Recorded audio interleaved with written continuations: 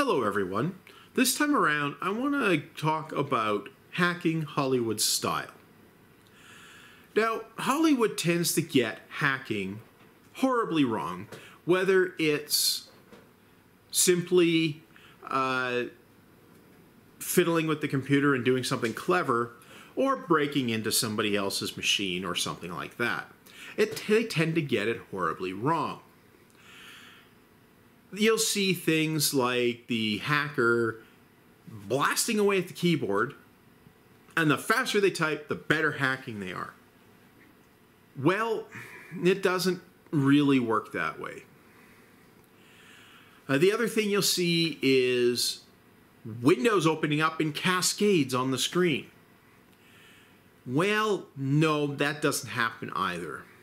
Although, to be fair, if you're doing things that fast on a computer, and some of the typing speeds they show is actually faster than the hardware can, can actually keep up with, you just keep that in mind. Um, if you, you're operating as fast as they show these hackers operating, well, yeah, I guess Windows could be popping up and disappearing that rapidly. Uh, the question then is, how are they reading the contents of them? You know, and that's the other thing is uh, how is the hacker keeping up with what's actually going on? Uh, you know, they're still human. They still are bound by human limitations. Still, the particularly good uh, computer operators can do things a lot faster than people that don't really know what's going on. And if it's stuff that you see all the time, you could recognize it much faster than it would take to actually read it. So there is some truth in, in that, but they tend to take it way too far. And they tend to portray that that high-speed typing person who's obviously a brilliant hacker can break into anything. Well, unless the plot requires they can't. Right. So, if that's not how hacking works, how does it really work? Well, it usually involves social engineering, hacking the people, calling someone up, pretending to be tech support, and getting information from them, and then, or maybe offering them a free trip to the Bahamas or something like that, get information from them, and use that to guess their passwords. Or you do a bunch of research. Or you send an agent in to look under their keyboard and find the, note, the sticky note they've written their password on. Or any number of things like that. But it's not particularly exciting to watch. And it takes a lot longer to do. Which means that in the situations they set up in these shows, it means that the hacking that has to happen to win would be impossible. As a result, they resort to hand wavy magic hacking. Uh, now, to be fair, it's certainly dramatic and it looks cool. So there's something there. And depending what you're doing and what you're working your way through and how fast you're making progress at it, like if you're exploiting remote uh, exploits and things or something like that, then perhaps you would spend some time typing frantically uh, to get something done. Uh, that certainly is not impossible. But in the general case, that's not going to be what hacking into a remote system looks like. Uh, it's going to look more like Okay. Yep. Okay, that got me some information. Now I need to look up what some more information so I can figure out where to go from there. So then you grab the mouse, click, click, click, click, tappity tap, click, tappity tappity tap, click, click, click, tappity tap. Hmm. Scribble, scribble, scribble, scribble, scribble, scribble, scribble, tappity tap, click. You know, it's going to look like that, right? Who wants to watch that? Uh, so you could put through a bit of a montage of that sort of thing going on, and then cut to the finished product. That would work just fine, and that'd be just as engaging as done. Um, My favorite has to be, though, a progress bar on how close to hacked you are, eh, how close you are to getting in, or it'll take me 20 seconds to get in. Um, how do you know that? Anyway, uh, so hacking doesn't work the way Hollywood portrays it. It's much more deliberate. It requires much more thought and careful analysis and research in a lot of cases. Obviously, if you can exploit some sort of security flaw in the software running on the remote system, that would certainly be a, uh, a faster way in. And that's likely what these hackers would be trying first off. They'd be attempting the common exploits that are likely to be uh, potentially available on the remote system. So, you know, the initial start the hacking is probably going to involve, if they do this a lot, they're going to have a uh, package where they just load it up, run it against the remote target, and it hammers on it automatically with all of these remote exploits that may or may not work until it gets one that does that might actually succeed in minutes or seconds. But while it's happening, after they've launched it, they're not going to be whacking away at the keyboard getting this stuff going. Uh, they might be doing further research in case those uh, automated probes don't work. So, you know, they're not necessarily going to be getting up from the computer, but they're not going to be in the rapid fire typing things mode. It's going to be more of a tappity tap, read, click, click, read, tappity tap mode where they're doing research on the victim, etc., etc., etc. And, you know, likely you're going to end up with a uh, montage type thing there, you know, a few jump cuts or whatever. And then you're done. Fade back to real time. Ding! Oh, we're in. Because something always has to go ding. It's necessary. There has to be a ding. Um, right, okay. So, actual hacking is not near as glamorous as Hollywood makes it look.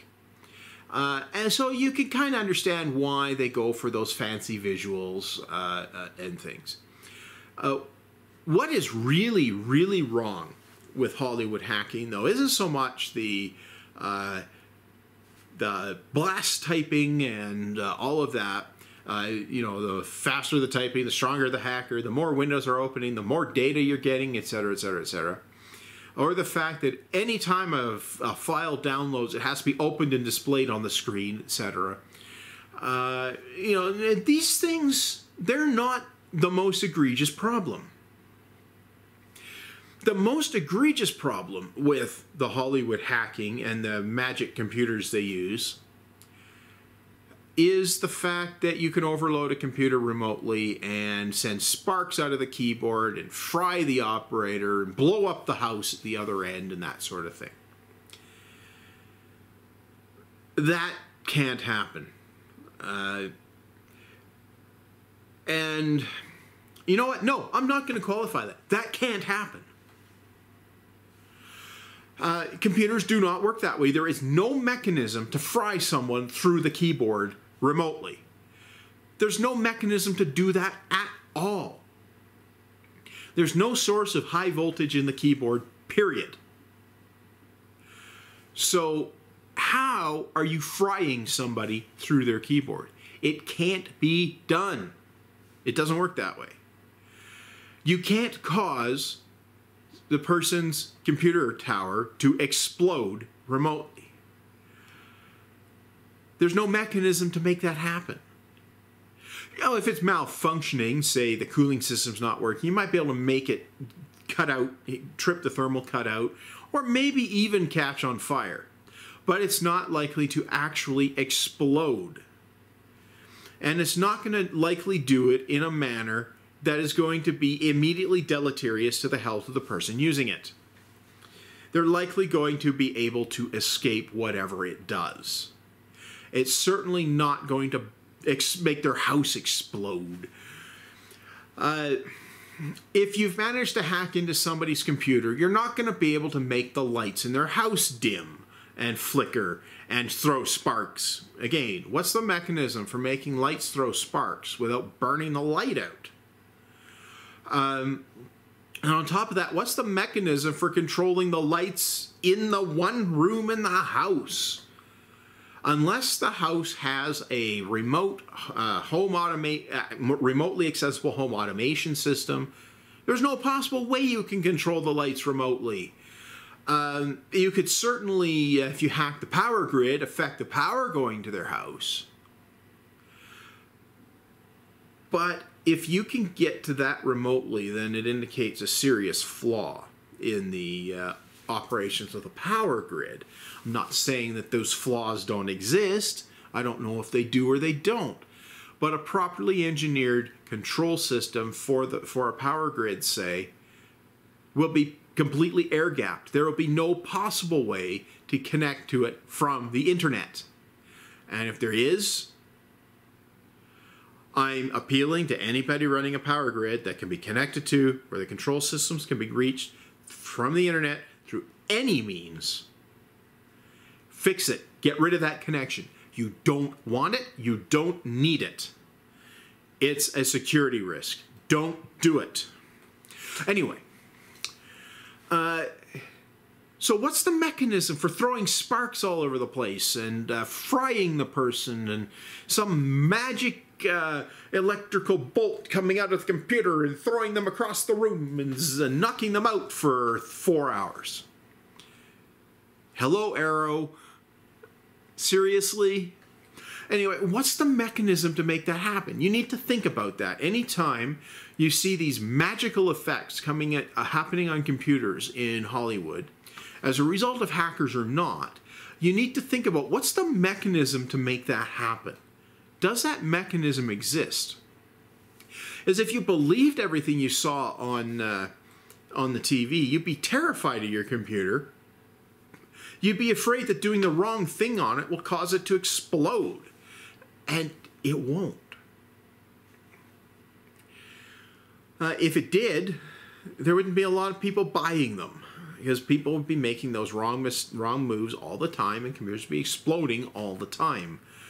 So think about what's the mechanism to make this magical stuff happen. And if you if you think you have a mechanism for it, go talk to someone who knows how the computer stuff works and ask them if that mechanism exists.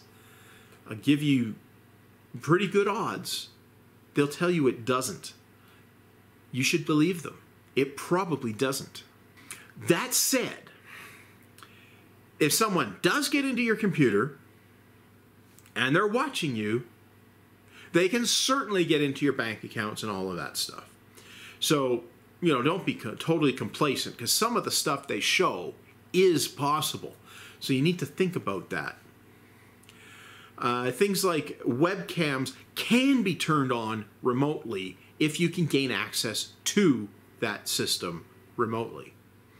So that means that once you have access, you can actually watch what that webcam sees, you can listen to what the microphone hears, and you can watch what's on the person's screen remotely once you have access. So some of the stuff they show is actually plausible. So don't get me wrong, it's not everything that's totally bogus. It's just most of the most dramatic stuff is. It's right up there with the zoom enhance uh, gag with image enhancement. You've got an image, and um, yeah, somehow you've got this grainy image and they can zoom in on a postage stamp size of it, zoom, enhance, you get a high definition image. And you can clearly make out who something some who is doing something and you're like, well, if it was if that was what was available to the cops and you see this in police procedurals all the time, don't you think they'd be releasing better pictures when they need the public's help to find someone instead of those grainy security cam video uh, still frames? Those stills that they release on the news are enhanced as far as they go and still be usable. Like, seriously, if they could enhance it better, don't you think they would? So, this zoom enhance thing is pretty nuts. Um, you know, it's so bad that Red Dwarf poked fun at it with it was zoom, enhance, zoom, enhance, uncrop. Huh? How do you uncrop something? Anyway, it, it's not that so that um, it's entirely unforgivable that Hollywood is doing this sort of thing. It's certainly more dramatic what they do. And I think originally it started out as a dramatization of what's going on for audiences that don't understand this computer stuff. And from those dramatizations, it's sort of become a custom. It's a customary thing now. Kind of like the shing sound drawing a sword, or uh, uh, certain uh, uh certain types of fight choreography that make no sense but are used all the time. Uh, you know, like the people didn't bash swords against uh, sword against sword. They didn't want to do that. They were trying to hit the other guy. Uh, so they might use a sword to parry, but they're not going to aim for the other guy's sword. They're going to aim for the other guy, right? Anyway, there's um, plenty of uh, fight choreography that makes no sense, but it's just customarily done that way anymore. Uh, and I think the uh, fancy computer hacking gimmicks are uh, are in that category. I don't think it's being done necessarily even out of ignorance anymore. I think it's being done just because that's what's done, right? Uh, anyway, some things do get it reasonably accurate, and you can get a really good story from following the real limitations of computers and hacking and all of that. You just have to frame the story slightly differently so you don't bore your audience to tears like use a short montage, jump cuts, and get on with it after the hacking's done. Make sure you don't frame the story so that the good guys don't have time to complete the necessary hacking. Uh, you, you, need to uh, do something along those lines to make it watchable. But some things have done a reasonably good job. Even as far back as War Games, they did a reasonably good job with the initial hacking scenes where uh, Broderick's character, um, I can never remember his name, he gets sent to the principal's office intentionally so he can look up the current password to get in and fix his grades later. And later, when he's trying to get into the WOPR, he does a tedious amount of research, which is shown as a montage. And then eventually he finds a back door and manages to get in. Now, that sequence is probably substantially abbreviated to what it should have been, but at least it's accurate as to the methodology used to hack in. After that point, the movie devolves into magical computer land. Uh, but then that's the conceit of the movie. That's the whole point of the movie is the computer run amok. And okay, good. That uh, you can kind of accept that, especially given that the lead up to it actually makes sense. Uh, the TV show Limitless actually did a pretty good uh, shout out to all of this stuff as well, where instead of showing the tedious hacking, the the narrator, uh, the main character, uh, told uh, comes on and says basically, yeah, uh, you know all those fancy hacking scenes in the movies. Well, real hacking isn't anything like that. So here's a picture of a dog instead. And then it cuts back to the hacking being done. Uh, so, uh, you know, that was kind of a clever sidestep of the issue. Now, they did fall into the magical hacking uh, computer gimmickry in other episodes, but not so obviously that it uh, it detracts. And they did he did throw up that picture of the dog a couple more times over the course of the show for just that reason. Yeah the hacking's really tedious so here's a picture of a dog. Uh, you know uh, that was kind of clever and it acknowledged that uh, the fancy hacking gimmick really doesn't work that way so you know it, it can work uh, if you tell the story properly. Uh, and in the cases where Limitless does do a little bit of that magic hacking, well, it does actually make more sense in those circumstances because Brian, the main character, has usually been doing extensive research on the particular victim, and he has a massive store of knowledge to call upon which helps him make the necessary associations to break in, to guess passwords and the like.